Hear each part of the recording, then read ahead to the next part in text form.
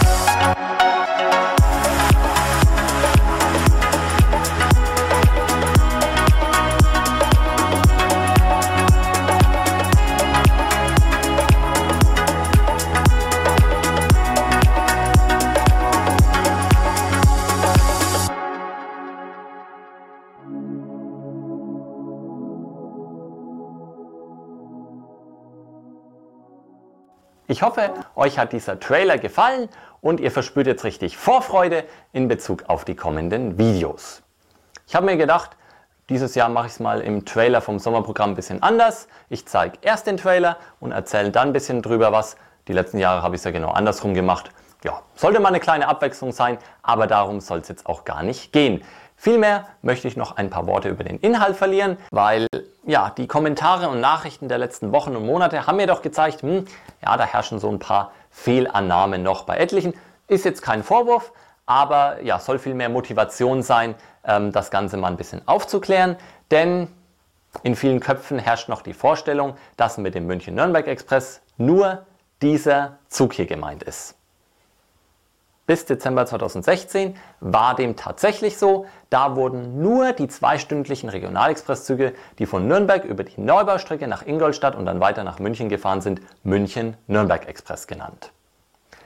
Parallel dazu gab es noch ähm, weitere Regionalzugleistungen zwischen München und Ingolstadt. Die sind dann aber äh, weiter über das Altmühltal nach Treuchtlingen gefahren und weiter nach Nürnberg. Zwischen Treuchtlingen und Nürnberg gab es außerdem oder gibt es außerdem noch den zweistündlichen Regionalexpress Nürnberg-Augsburg. Und diese beschriebenen Leistungen hatte jetzt marketingtechnisch eigentlich keinen Namen, aber in etlichen Publikationen konnte man den Namen Ringzug West lesen. So, und ähm, das waren bis Dezember 2016 wirklich zwei verschiedene Netze. Einmal Ringzug West, einmal München-Nürnberg Express. 2012 hat die Bayerische Eisenbahngesellschaft aber ja, diese Leistungen neu ausgeschrieben und das als ein Netz ausgeschrieben. Also nicht mehr zwei getrennte Netze, sondern die Bayerische Eisenbahngesellschaft hat das als ein einziges Netz ausgeschrieben unter dem Namen Ringzug West-NBS. Die Deutsche Bahn hat die Ausschreibung gewonnen und hat sich gedacht, ja, hm, also Ringzug West-NBS, also äh, ja, das ist jetzt marketingtechnisch mh, hm, irgendwie nicht so, klingt nicht so gut und vor allem ähm, weiß dann auch nicht wirklich ein Kunde, was hat es damit auf sich. Da müssen wir doch irgendwie einen Namen finden, der ähm, besser klingt, ja, wie zum Beispiel Franken-Thüringen Express. Also irgendeinen schönen Namen brauchen wir auch für dieses gemeinsame Netz. Ja, und da hat man sich halt gedacht, naja, die meisten Züge von diesem Netz fahren ja von München nach Nürnberg wenn auch über unterschiedliche ähm, Strecken. Ja, und dann hat die Deutsche Bahn das gesamte Netz einfach München-Nürnberg-Express genannt. Und so ist es einfach jetzt, seit dem neuen Verkehrsvertrag, also seit Dezember 2016, ist es so, sowohl die schnellen Regionalexpresszüge über die Neubaustrecke als auch die Regionalbahn übers Altmühltal und der Regionalexpress Nürnberg-Augsburg, diese ganzen Leistungen heißen alle München-Nürnberg-Express.